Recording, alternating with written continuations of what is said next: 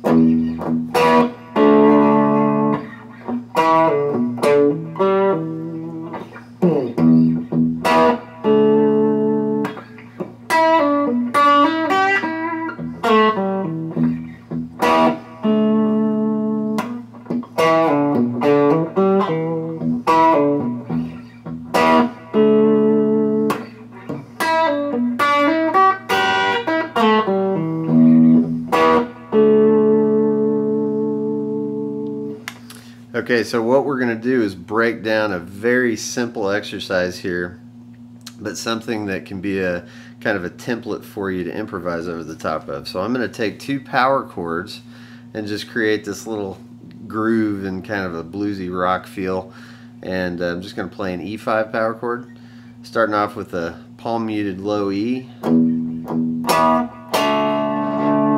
just go to a D5 power chord there. And then my first turnaround phrase looks like this. Right, so remember it's not the notes you play, it's how you play them, right? So I'm going to put a little bit of, maybe a little palm mutant vibrato on uh, certain notes in there. Then we'll repeat the chords.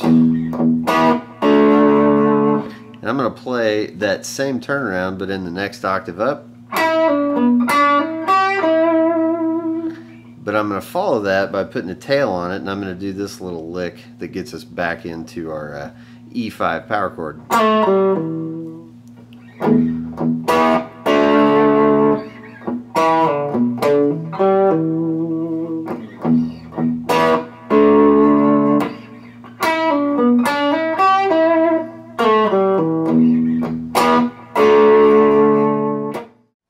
Thanks for checking out our channel. Don't forget to hit like and subscribe and check out our full length lessons right there at rjsoldaniguitarlessons.com.